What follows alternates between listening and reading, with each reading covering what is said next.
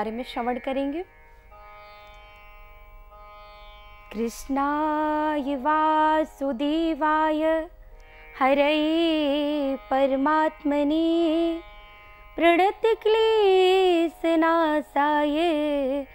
गोविंदाय नमो नमः। भगवान हमारे समस्त कष्टों का नाश करें, प्रणत जनों को हमेशा सहारा देने वाले ऐसे भगवान श्री कृष्ण के चरणों में कोटि कोटि वंदन, नमन। आज जन्माष्टमी का पावन अवसर है तो भगवान कृष्ण के विषय में जो भागवत जी में चरित्र आया है, उसमें श्री सुखदेव जी श्रवण करा रहे थे, तब राम जी का जन्म आया। राम जन्म के हेतु अनेका परम विचित्र एक ते का तो परिचय जी ने बहुत समास विधि से राम कथा को श्रवण कर लिया। लेकिन जैसे ही भगवान कृष्ण का चरित्र आया और सुखदेव जी आगे बढ़ते जा रहे थे समास विधि से तो परीक्षित जी ने कहा, नहीं महाराज, भगवान कृष्ण के विषय में मुझे विशेष चर्चा करनी है। आपसे विशेष कथा श्रवण करनी है, क्योंकि मेरा भगवान से रिश्ता है। सुखदेव जी ने कहा, कौन सा रिश्ता है? बोले कि जन्मदाता से बढ़कर प्राणदाता होते हैं। तो पहला, भगवान से रिश्ते बनाइए। भगवान को केवल भगवान तक ही मत मानिए, क्योंकि भगवान से जब हमारे रिश्ते होंगे तो मोह जो है, वो हमारे बंधन का कारण ना होकर के मोक्ष का कारण बन जाएगा। हम लोग क्या करते हैं? संसार में मोह होता है, हर रिश्ते में। माता में, पिता में, पत्नी में, भाई में, बहन में, जितने भी संसार के रिश्ते हैं, सब में मोह हो जाता है। उसी प्रकार यदि हमारा भगवान से मोह हो जाए तो ये बंधन का कारण नहीं, ये मोक्ष का कारण हो जाएगा। तो परिचित जी कहते हैं, मेरा भगवान से रिश्ता है, इसलिए मुझे भगवान के बारे में विशेष कथा श्रवण करनी है। भगवान का प्राकट्य कैसे हुआ? तो वैसे तो गीता जी में कहा गया है, परित्राणाय साधु नाम विनाशाय च दुष्कृताम, धर्म संस्थापनार्थाय संभवामी युगे युगे। जब जब हमारे इस धरती पर पाप अत्यधिक बढ़ जाते हैं और दुष्ट दैत्य उत्पन्न होते हैं, जो धरती को कष्ट देते हैं, प्रताड़ित करते हैं, उनके उद्धार के लिए धरती माँ के लिए, गौ के लिए, ब्राह्मणों की रक्षा के लिए भगवान इस धरती पर अवतार लेते हैं। लेकिन अजन्मा परमात्मा को जन्म लेने की आवश्यकता क्यों पड़ी? भगवान अपनी इच्छा से, निज इच्छा निर्मित तनु, माया गुण गोपार वो अपनी इच्छा से लेते उनके सामने किसी की इच्छा नहीं चलती है स्वयं उनकी इच्छा चलती है। और वैसे प्रभु भ्रकुटी विलास सृष्टि लय हुई, जिसकी भ्रकुटी मात्र टेढ़ी करने से संसार का सृजन हो जाता है, पालन हो जाता है संगार हो जाता है, उसे अवतार की कोई ज़रूरत नहीं है। लेकिन वो अपनी इच्छा से, क्योंकि जय जय सूर नायक, जन सुखदायक, प्रणत पाल भगवंता गोदुज हितकारी जय असुरारी। तो गो द्विज हितकारी, भगवान ब्राह्मणों के हितकर हैं, गौ माता के हितकर हैं। तो गौ माता भगवान ब्रह्मदेव के पास जाती है और रोते हुए कहती है कि, प्रभु मेरी समस्या का समाधान करिए, मैं पापियों से प्रताड़ित हो चुकी हूँ। ब्रह्मदेव जी ने कहा प्रॉब्लम बड़ी है तो इस प्रॉब्लम का सलूशन मेरे पास नहीं है। प्रॉब्लम बड़ी है तो सलूशन भी बड़े के पास होगा। और ब्रह्मा जी गौ माता को लेकर के भगवान के पास आए। भगवान से कहने लगे, प्रभु, आप अवतार लीजिए। भगवान ने कहा, अवश्य मैं अवतार लूँगा, लेकिन मेरे अवतार के कई कारण होंगे। आप सब जाइए गौ माता को लगा प्रभु आश्वासन दे रहे हैं। तो गौ माता ने कहा, प्रभु, बताइए आप किसके यहाँ अवतार लेंगे? तब प्रभु ने बताया कि मैं देव की और वसुदेव के यहाँ अवतार लूँगा। आप सब जाइए और समस्त देवी देवता, आप सब भी ब्रज में अवतार लीजिए। तो सारे देव जा जा करके अवतार लेने लगे। और जब भगवान के प्राकट्य का समय आया तो लिखा गया कि अथ सर्व गुणों प्रेता काला परम शोभना। वैसे काल बहुत विकराल होता है। और जैसा कि भगवान का प्राकट्य मध्यरात्रि में हुआ है। और रात्रि का क्षण जो होता है, योगियों के लिए श्रेष्ठकर होता है, लेकिन वो काल का टाइम चलता होता है, उस समय संसारियों के लिए वो बहुत बुरा समय है। तो अत सर्व गुणों प्रेता काला परम शोभना। जो काल बहुत बुरा है, आज उसको भगवान ने परम शोभायमान कर दिया। प्रकृति में छटाए में अद्भुत वसंत आ गया, अद्भुत सौंदर्य आ गया। नदियों में जल धाराएँ प्रवाहित होने लगी और मध्य रात्रि बारह बजे का समय आ गया, रोहिणी नक्षत्र आ गया, बौकर्ण योग आ गया। और भगवान तो वैसे हैं कि मंगल भवन अमंगल हारी द्रबहु सो दशरथ अजीर बिहारी, जो मंगलों का नाश कर दे, जो अमंगलों का नाश कर दे और मंगल का सृजन कर दे। तो जब भगवान स्वयं प्रकट होते हैं तो समस्त मंगल विद्यमान हो जाते हैं। जो काल बुरा है, वो काल परम शोभायमान हो जाता है। और आज भगवान के जब प्राकट्य का समय आया तो मध्य रात्रि बारह बजे भगवान सशंख चक्रम, सक्रीट कुंडलम, भगवान शंख चक्र पद्म गदा लेकर के प्रगटे।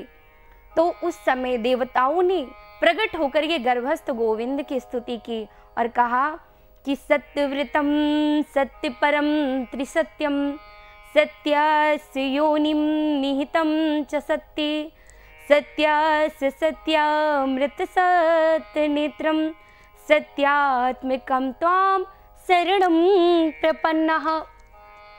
देवताओं ने यहाँ भगवान को सत्य कहा है।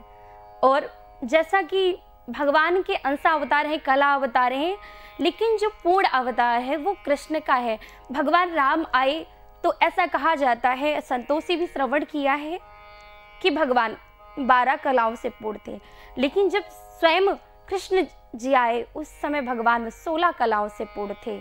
इसलिए अद्भुत समय आया भगवान के प्राकट्य का और देवताओं ने सत्य व्रत कहा। सत्य सत्य कह करके गर्भस्थ गोविंद की स्तुति की। और सारे देवताओं को भगवान ने कहा कि आप आप जाइए और ब्रज में अवतार लीजिए। देवता लोग चले गए। और भगवान संकल्प के द्वारा प्रकट हुए।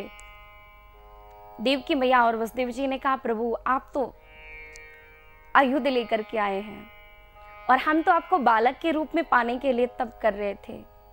भगवान ने कहा, मैं अवश्य बालक बनूँगा, पर उसके पहले मैं आपसे चर्चा करना चाहता हूँ कि जैसा देव की माँ और वसुदेव जी के छह पुत्रों की हत्या कंस ने कर दी।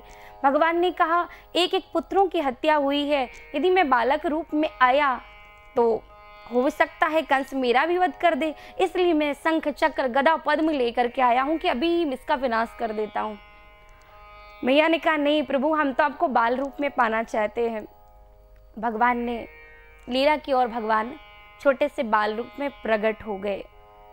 लेकिन उसके भगवान के प्रकट होने से पहले देव की और वसुदेव जी ने कितनी यातनाएँ सही। क्योंकि जीवन में जो व्यक्ति जितना ऊंचाई पर होता है, उसके दुख भी उतने ही बड़े होते हैं। लेकिन देव की और वसुदेव जी के जीवन से हमें सीखना चाहिए कि उन्होंने हार नहीं मानी। जीवन में हमें छोटा सा कष्ट मिल जाता है, हम लोग रोने लगते हैं लोग तो यहाँ तक करते हैं कि अपना भगवान ही बदल लेते हैं। अगर भगवान हमारी एक विश ना पूरी करे तो लोग भगवान ही बदल लेते हैं। लेकिन देवकी और वसुदेव जी से सीखना चाहिए कि एक पुत्र कीर्तिमान की हत्या हुई तो भी भगवान पर भरोसा रहा। एक एक करके छह पुत्रों की हत्या हो गई, फिर भी भगवान पर भरोसा रहा। और जब भक्त आर्त भाव से भगवान का पूर्णतया डिवोटी हो जाता है। तब भगवान को उसके यहाँ अवतार लेना होता है। और आज मेरे प्रभु ने बाल रूप में अवतार लिया है। बोलिए बाल कृष्ण लाल की। और भगवान जब अवतरित हुए उस समय, जैसा कि हम लोग कहते हैं ना, भगवान को क्या निवेदित करें? जिसके पास जो है, उसने निवेदित किया। जब भगवान जेल से निकले और जब ब्रह्म जीवन में आता है तो समस्त बंधनों से मुक्त कर देता है।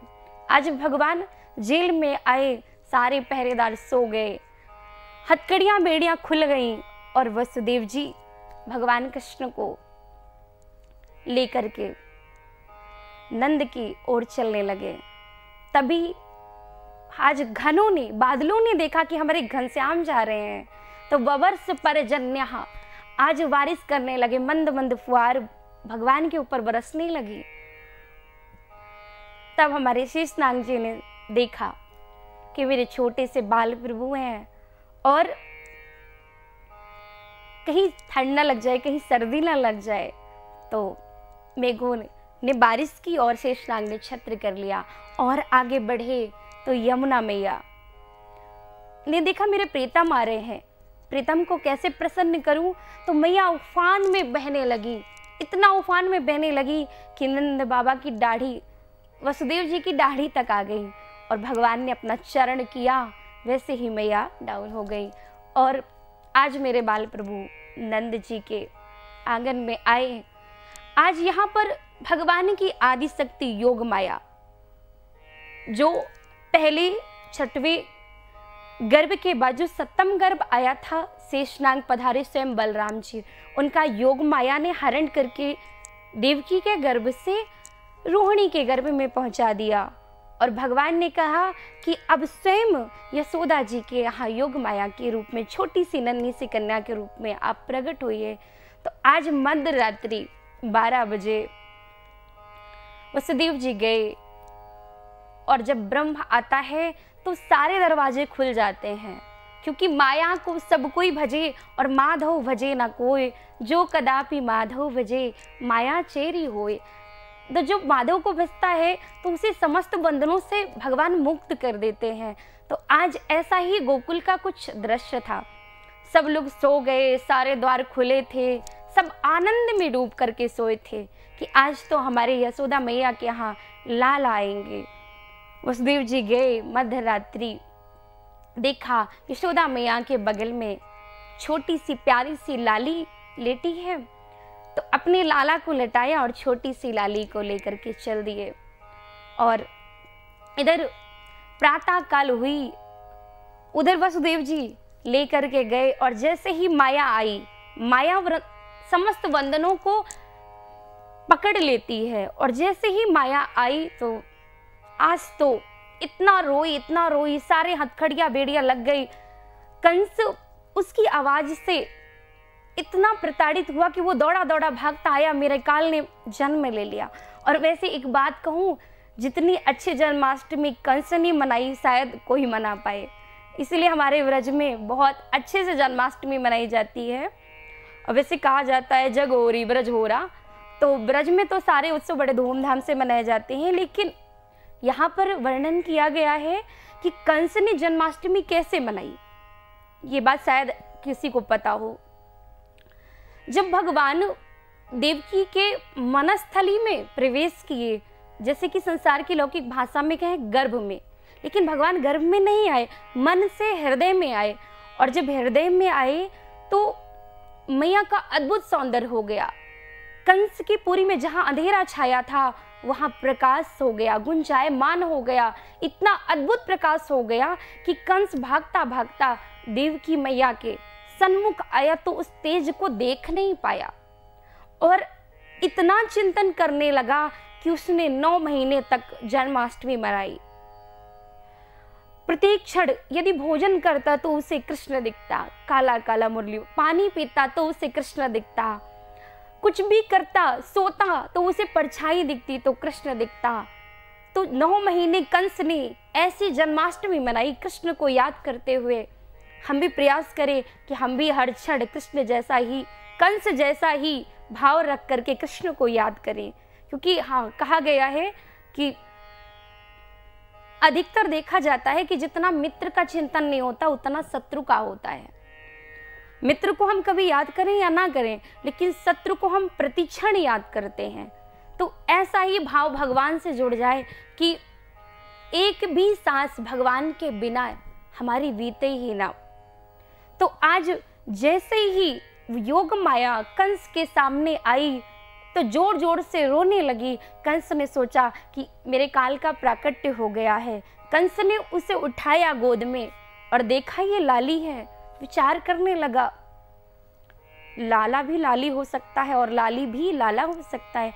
अर्थात ये मेरा काल हो सकती है और कंस ने जैसे ही अष्टभुजी मैया को पटकने का प्रयास किया, वैसे ही मैया आकाश में चली गई और बोली, तू मुझे क्या मारेगा? तेरे मारने वाले ने अवतार ले लिया है। तो उसी समय भगवान की माया का भी प्रकट हुआ और भगवान का भी प्रकट हुआ। इसलिए आपको दोनों के जन्मोत्सव की बहुत बहुत बधाइयाँ। और इधर नंद भवन में उत्सव होने लगा कि नंद जो ग्वालन आ पकड़े, कहीं लोगन नाचन को व्यवसाय और गोद भरे कसी फेंट चले, तब नंद बाबा सबके मन भाई और नाचत देख कि नंद बाबा नाचन नाच उमंगन छाए और काहू ने लाद डिडार दियो नंद बाबा सब लोग हंसाए आज इसी भाव को पाने के लिए समस्त देशवासी ब्रजधाम आते हैं क्योंकि यहाँ दूध दही की बरसात और माखन मिश्री की बरसात होती है और बिहारी जी का पावन उत्सव मनाया जाता है आप सभी को एक बार पुनः जन्माष्टमी की बहुत बहुत शुभकामनाएँ साधना टीवी की तरफ़ से ईसर टीवी की तरफ़ से आप सभी को जन्माष्टमी की ढेरों ढेरों शुभकामनाएँ। जय श्री कृष्णा, राधे राधे।